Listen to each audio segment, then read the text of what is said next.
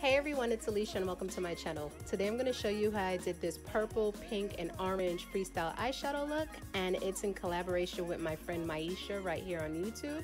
So if you would like to see how I created this look, just keep on watching. Hey guys and welcome back to the Disney Channel. Now let me stop playing around before they copyright my damn video. I'm going to start off by priming my lids using the Fiona Stiles Perfect Finish Concealer in the shade 10. Then I'm going to blend it out using my Alter Ego concealer brush and then I'm going to set it all in place using my BH Cosmetics number 3 brush to set it in place with the Coty Airspun Translucent Setting Powder. For today's look, I'm using the Profusion Cosmetics Festival palette and I'm going in with the shade Headliner and using my e.l.f. concealer brush to apply this as my brow bone highlight. Now using an e.l.f. blending brush, I'm going in with the shade Beat and this is going to act as my transition shade for this look today. This whole palette was so pigmented. I, oh my gosh, I fell in love with it. I've had it for a little over a month now, but because of so many palettes that I have, it's been difficult to play around with as many as I want to. But luckily today I was able to because my friend Myesha, we're doing a collaboration and I told her that she could pick out the theme, she could pick out the palette, even the color scheme and she chose this palette and I'm so happy that she did because I absolutely fell in love with it. And yeah, you're just gonna see how bomb the pigmentation comes out in this whole look. Using a different e.l.f. blending brush, I went into the shade Totally and I applied this slightly below my transition shade and right above my crease. And this is going to help to marry my transition shade into my crease shade. Also, I'm going to link Myesha's video in the description box down below, so be sure to go check it out and to show her video some love. Now I'm going into the shade Audacious Plum by Star Crush Minerals and using my Morphe M169 to apply this shade directly into my crease. It is a loose shadow, so I'm only patting a little at a time to deposit it into my crease and then I'm going to go in with my BH Cosmetics number 7 brush. It's from the Pink Studded Elegance set to help buff out any of the harsh edges. I wanted to use a purple for this look and unfortunately there isn't a purple, well a matte deep purple in the palette so that's why I had to use something else. Loose shadows, be very careful and apply a little at a time because if you apply too much, it's really difficult to try to blend this out. But Star Crush Minerals has such great loose eyeshadows. I absolutely love them. The quality, the pigmentation is there, and they're so easily buildable and blendable. Now I'm just going to alternate between all my previous brushes and eyeshadows to make sure that I'm blending out any harsh edges and to keep the gradient going. Just work in reverse, so since I applied Audacious Plum. I'm just going backwards and I'm gonna apply Totally, then Beat, then Headliner, then switch back and forth between Totally, Beat, and Headliner just to make sure that I have a proper gradient. I'm using my Daler and Rowney number 6 brush and the NYX white eyeshadow base to help carve out my lid. This is going to make the colors on my lid pop the most.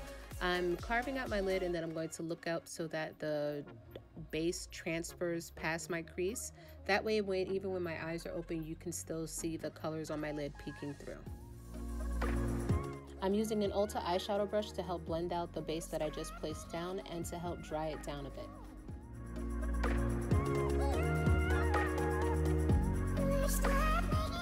Now using my Morphe M326 brush, I'm going to apply the shade Sunnies to the inner part of my lid. Do you guys see how pigmented and vibrant this yellow is? Oh my freaking gosh. When I started to pat it on, I literally screamed inside. This is such a beautiful yellow. I'm using this small brush because it's really easy to get into the as close to the crease without overlapping it and it gives me such precision and control. Now I'm going into the shade Crochet and I'm going to apply that right next to the yellow. I'm using the exact same brush. All I did was wipe it off in between the colors that I'm using. But this burnt orange is such a beautiful shade. It's such a beautiful color.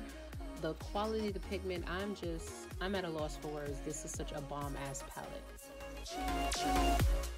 Now I'm using my Morphe M408 brush and I'm going back into the shade Totally and I'm applying this on the outer part of my lid.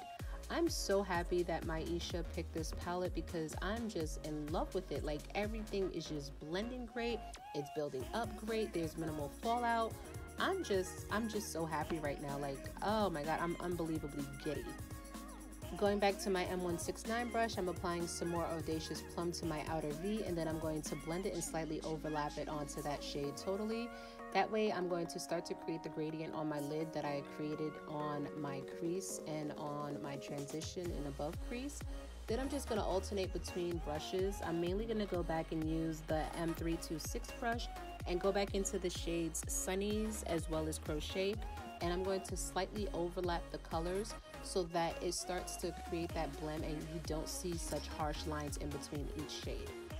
Now to prep my lower lash line, I'm going back in with some concealer to clean everything up. And then as you can see, I'm starting to create the shape of that sharp wing right before I start to bring it all the way out towards the tail of my brow, following the lower lash line, just following it at a diagonal angle. This step, it takes practice, but once you get the hang of it, it becomes so ridiculously easy. Then I'm just gonna blend it out using my alter ego brush and then set it all in place.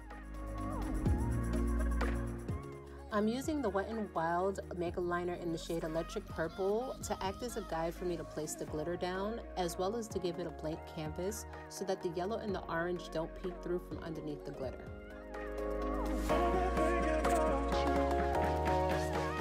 As I'm waiting for the liner to dry, I'm going to do my lower lash line. I'm going to start by applying the NYX Jumbo Eye Pencil in the shade Milk to my waterline.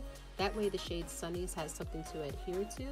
I'm going to be using my Daler and Rowney number 2 brush to apply it.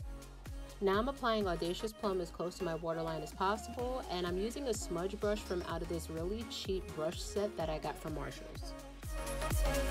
And then I'm just going to go back in with the shades Totally and the shades Beat to smoke out and blend out the lower lash line.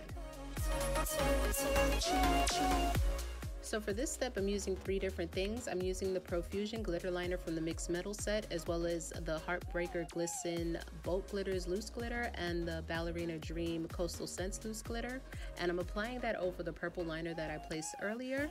And the reason I mixed these three together is because I wanted like this pinky purple blue glitter to like really make the look pop and I really love how it all came together by me doing it like this. Now I'm using the L'Oreal Telescopic Carbon Black Mascara to coat my top and bottom lashes.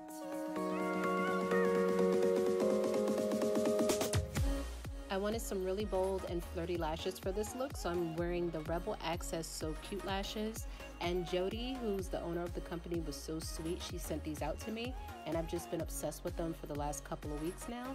And you're definitely going to see a lot more looks with me using these. And to complete the eyes, I'm going in with my BHV9 pencil brush and I'm applying headliner as my inner corner highlight. So I did the rest of my face off camera and this is the finished look. I hope you all enjoyed this tutorial. If you did, please don't forget to like, comment, and subscribe. And also stop by and see Myesha's video as well. I hope to see you guys all soon. Bye.